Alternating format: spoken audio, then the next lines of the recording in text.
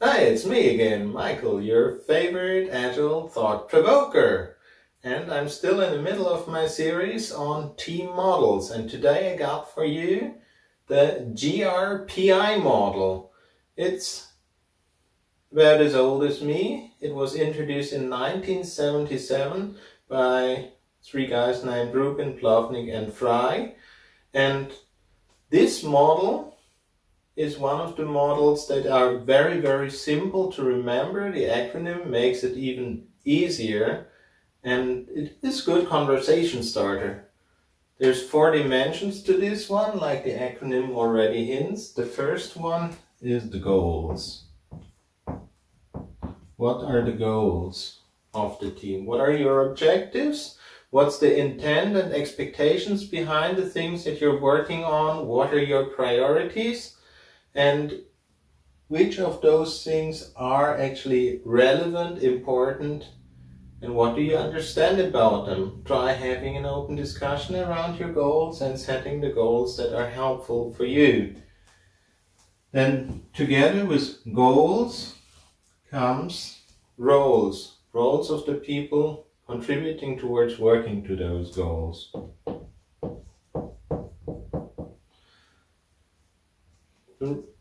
The more clear your roles are, the easier it is to find your own place in the bigger scheme. And with those roles, of course, comes responsibility attached. As you know, the Spider-Man saying, with great power comes great responsibility. So which responsibility can you bear? Which responsibility do you want to bear within the teams? Who is doing what? And what's your expertise that you can contribute towards the team?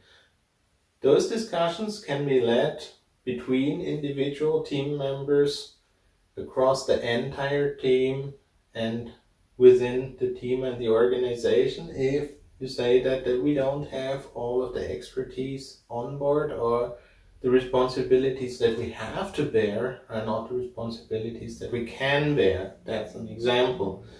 Then you come to the formal part, how are you going to do this stuff? The process. I'm talking a lot about working agreements, for examples. How are we going to get things done? What can we expect from each other? How are we making decisions? What is the established procedure for getting something done? For example, if we say that we are using CI/CD, uh, in the process we might establish that it's not done until we have automated tests or we might even say that we are using strict BDD, TDD processes. And if somebody is just writing code without even thinking about uh, what's the expected application behavior that I'm trying to model, then this is a breach of process. And so we need to talk about what is this process? What do we expect from this process? Why do we have this process? And how do we organize ourselves around our processes? How are we solving problems within the team? Do we have frequent problem solving meetings? Do we just solve ad hoc? How do we interact with each other in order to get problems solved? How do we organize ourselves in order to reach done? It doesn't help so much to say, oh yeah, we have a tester, we have an analyst, we have some coders, we have a UX specialist, that's all cool. But how do we organize ourselves in order to reach a done product increment? That's an important question to answer, so that's a good discussion to have. And then we come to the last one, and that is the interpersonal.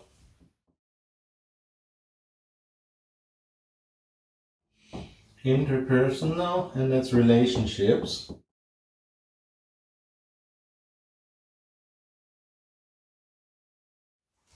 That's already everything in this model. There's not so much else to it except those four aspects. In interpersonal relationships, we should think about how open and how honest is our communication with each other? Do we address everything that is important? Do we feel comfortable around each other? How um, frequently do we actually talk with each other? Because some developers, they have this habit, they do a good job, but they don't really talk to even the person sitting next to them. Is that a good thing? Are we happy with that? Should we be talking a bit more frequently? How important is the other person actually to us? How engaged are we with the team, with the project, with the product, with whatever we're doing? And how flexible are we actually as a team? Because you know the standard sentence, uh, I did my part and John's not around, so we're waiting for John. That is very inflexible because it doesn't help us produce customer value. So how are we going to address a situation when one team member who does have special expertise is not around? Um, there's a lot of discussions we could have around this topic and that is an area of interpersonal relationships. Now what we do with this model in practice? We can either use it to set up our team from the beginning and say, okay, do we have clarity on goals, roles, process, and interpersonal relationships? We can also use this model in retrospectives to say, okay, we look at those four quadrants, let's do some dot voting. Where are we good? Where are we not good? And where we seem to be the worst, we should have a deeper conversation about why do we think we are not so good when it comes to, for examples, goals or roles? And so that is uh, one way to use this simple GRPI model.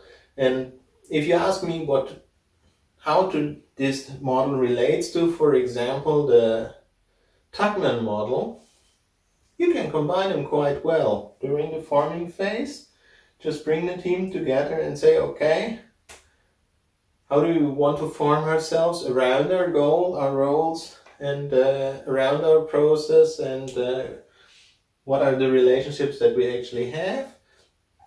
During storming is also very helpful to say, okay, before we just beat each other all the time, let's just focus on one of those quadrants and get one problem solved at a time. This one also relates to the connect model, which basically is one of the ways that we can approach to make progress on one of the quadrants. So that's it from my side for the GRPI model. Hope you liked it. And if you did, please leave a like. And if you didn't already do it, subscribe please, because there's more content coming up. Enjoy!